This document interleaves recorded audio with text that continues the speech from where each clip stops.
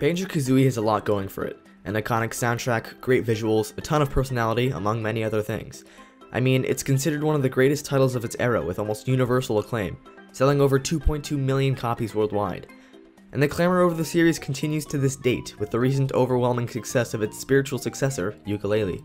So it's pretty evident that Rare knew what they were doing, and implemented some very smart design choices in the game that even perhaps kickstarted an industrial push into the mainstream market. But before I go there, let me put this in a little bit of perspective. Booting up a game for the first time is like going on a first date. The game needs to draw you in, impress you, allow you to get a feel for it a little more, and even set the overall tone of the experience, you know? Pretty much prior to the Super Nintendo, most games obviously didn't do this at all.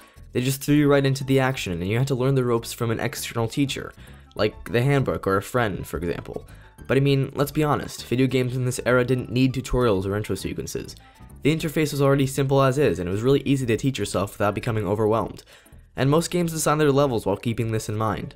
But then, the market grew, consoles strengthened, and controllers got more complex.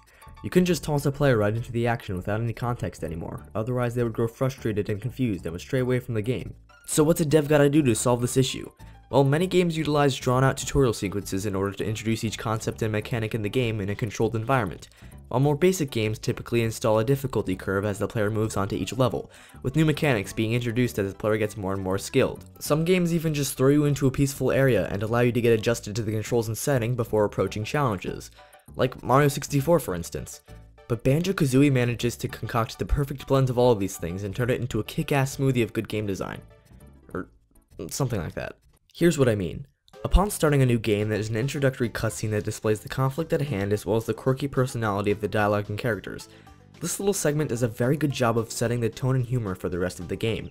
Anyway, after this cutscene, you leave the comfort of your home and are placed inside of a spectacular hub world, sprawling with mini obstacle courses, a mini river moat thing, and even some enemies.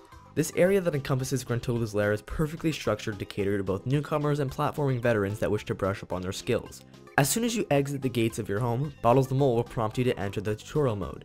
The way in which Banjo-Kazooie teaches you the basics is where it sets itself apart from most other games. Accepting the tutorial prompt will disable your basic moves until you gradually learn each of them from molehills scattered around the area.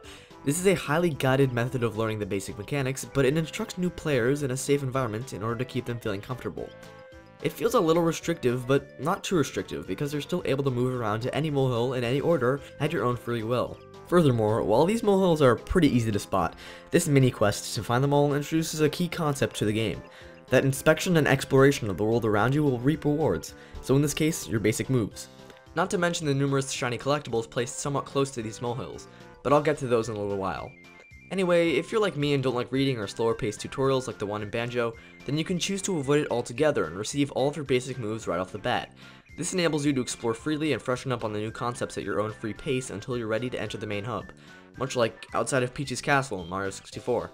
But unfortunately, the first time I played this game, I accidentally chose the tutorial mode. Stupid A button. I was a little skeptical of the tediousness and lack of freedom that the tutorial provided, but I mean, the entire rest of the game is extremely open and free. So a little bit of restriction at first to teach the player everything before, you know, they roam free, is perfectly okay in my opinion. Think of the tutorial as if it were a concerned parent teaching their kid how to ride a bike. The kid in this metaphor is the player. Slaps on some training wheels and doesn't let the player leave the driveway until he's learned how to ride the bike.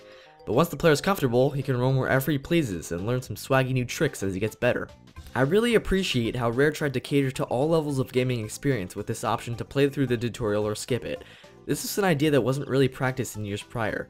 The choice truly opened the gates for players who are new to the gaming scene, with the tutorial, as well as seasoned gaming veterans who have already been accustomed to the way games like Banjo-Kazooie work.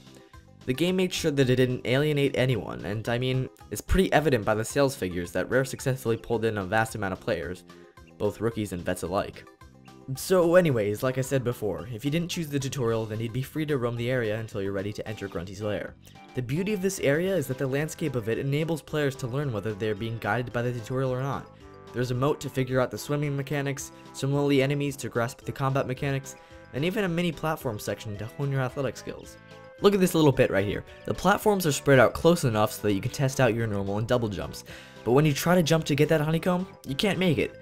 This means that you have to utilize another move, your backflip, in order to reach higher altitude necessary to reach the nice new shiny item. That's another beautiful thing about this area, the small collectibles scattered around. Like I said, these collectibles incentivize you to go out and retrieve them, but in order to get them, you need to master the basic skills that are required to do so. Some of them are very cleverly placed, like the example I just talked about, and they make the player think and adapt to the challenge. It's just really smart game design that allows the players to learn concepts without them even realizing it.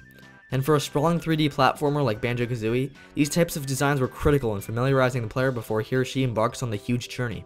It's no wonder that Banjo-Kazooie lives on in the minds of millions of people today. It wasn't just the humor or the music, it was great design choices like these that made it such a classic staple to the Nintendo 64. My name's NinJohnny, and that is why Banjo-Kazooie's intro segment is awesome.